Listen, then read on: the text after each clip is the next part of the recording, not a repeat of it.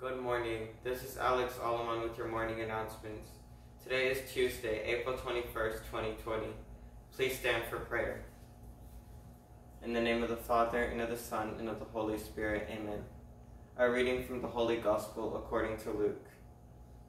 On the day it was discovered that Jesus' body was no longer in the tomb, two disciples were going to a village called Emmaus. Jesus himself came near, but their eyes were kept from recognizing him.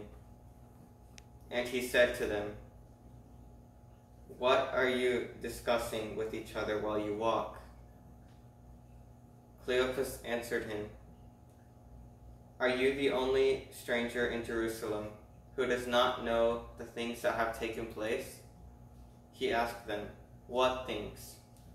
They replied, the things about Jesus of Nazareth and how our chief priests and leaders handed him over to be condemned to death and crucified him.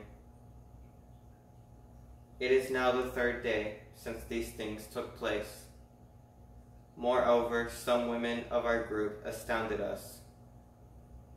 They were at the tomb early this morning, and when they did not find his body there, they came back and told us what they had indeed seen a vision of angels who said that he was alive. The Gospel of the Lord. Please join me in prayer.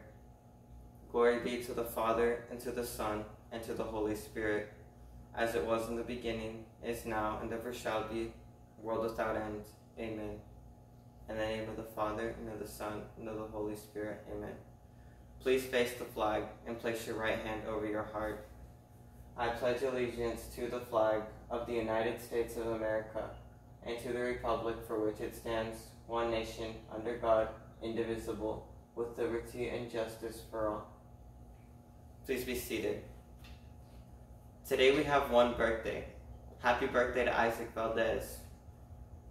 Please join me in the school mission statement.